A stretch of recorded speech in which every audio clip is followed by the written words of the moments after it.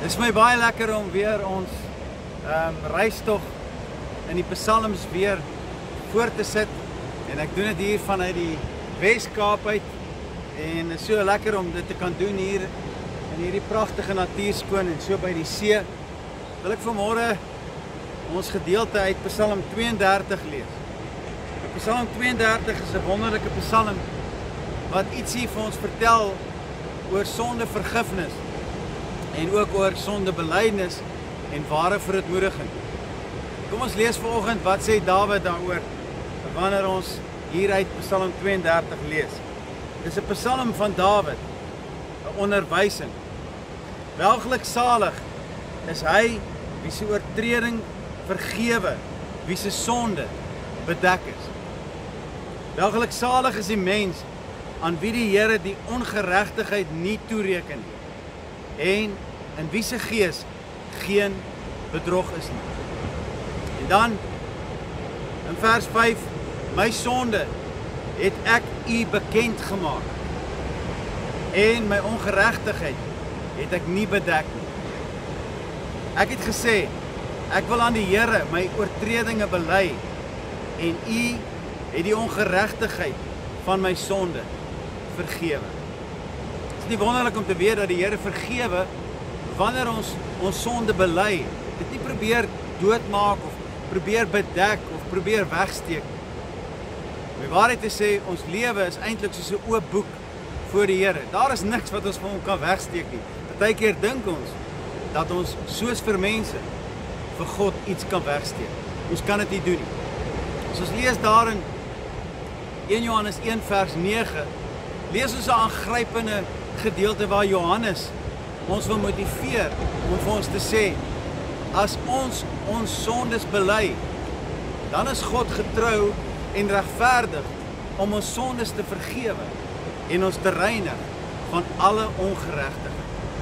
Is dit nie wonderlik om te weet dat ons sondes vergewe kan word? Baie mense gebruik hierdie skrifgedeelte soms as 'n lisensiaat om te sonde. En dis 'n verkeerde persepsie. Dis 'n verkeerde invalshoek op wat God regtig bedoel wanneer hy sê dat hy ons sondes wil vergewe. Ons mag dit nooit gebruik as 'n lisensie om net te sondig. Nou kom sê Johannes daar in 1 Johannes 2.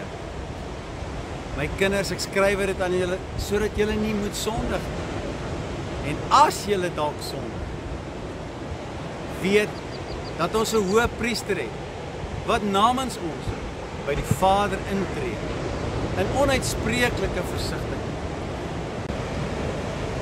Terwyl ons praat oor die woord wat ons sonde openbaar, wil ons lees vanuit vers 8 wat my gunsteling vers uit hierdie Psalm is.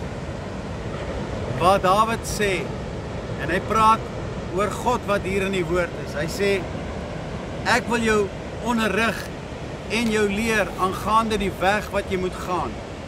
Ek wil raad gee. My oog sal op jou wees.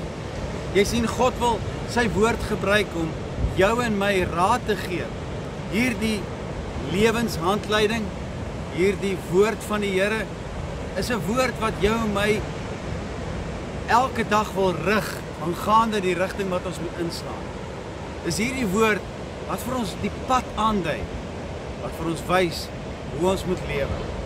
As ons maar net hierdie woord kan lees en onsself hierin verbly, dan sal ons weet watter pad om te stap. Dan sal ons weet hoe om te loop. Mag hierdie wonderlike gedagtes vanuit Psalm 32 vandag jou opnuut weer kom bemoedig om sommer daar waar jy is in die kar of dalk is jy in jou binnekamer. Miskien vandag weer op jou knieë neer te val en te sê Here, vergewe my van my oortredinge. Ja, selfs die oortredinge waarvan ek nie weet nie. En dan ook voor die Here te staan te sê, Here, ek bely my sondes. Sal U my vergewe? Mag hierdie woorde vandag jou hart verander en vernuwe sodat jy met nuwe toewyding jouself aan die Here kan kom gee. Tot 'n volgende keer. Shalom.